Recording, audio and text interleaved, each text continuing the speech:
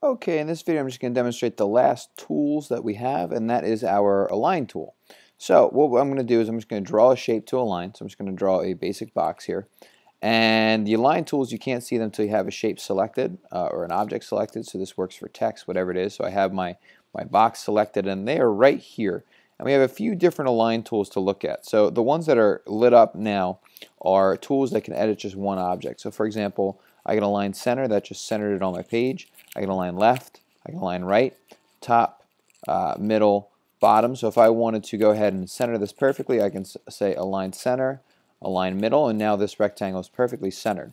You also have distribute. So I'm just going to go ahead and I'm going to actually draw a few uh, equal shaped rectangles here. I just copied and pasted a bunch of shapes on top of one another. So we have these three shapes. They're not aligned in any way. But if I select them all, I could go ahead and center them to each other. And I could even distribute them. So it just went ahead and evenly spaced them out. So again, this uh, is a kind of a handy tool set here, depending on what it is, what it is that you are trying to work with.